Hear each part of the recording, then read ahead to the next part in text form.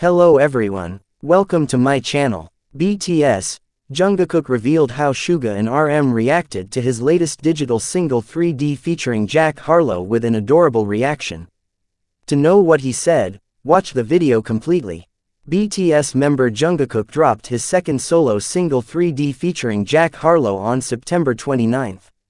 As much as fans love this digital single, BTS members Suga and RM have also shared their thoughts on this 3D.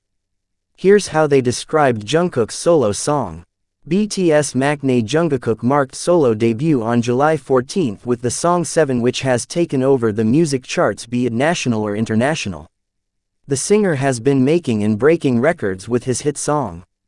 After two months he made his musical comeback with another digital single 3D featuring American singer-songwriter Jack Harlow. Fans have already been pouring love to this song, which was released on September 29. And to everyone's curiosity, BTS members also showed their love for this song.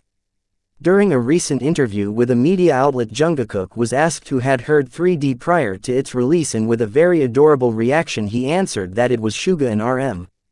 Knowing how all seven members of the K-pop boy group support each other in their individual endeavors, it was no surprise that they gave Jungkook an astonishing title to appreciate their youngest member. He revealed that they called him, True Pop Star, while saying that he got extremely shy hiding his face with his tattooed arms on the table.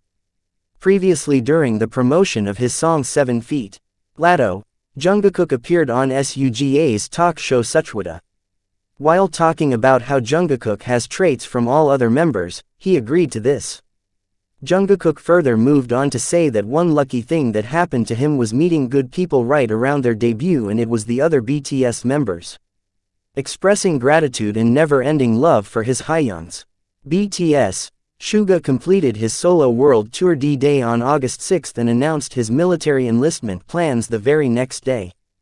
He officially commenced his mandatory service on September 18, as the third member of the group to do so. On the other hand, RM shared on his Instagram stories about BTS members' contract renewal with Big Hit Music confirming the 2025 reunion. He is also working on his solo album.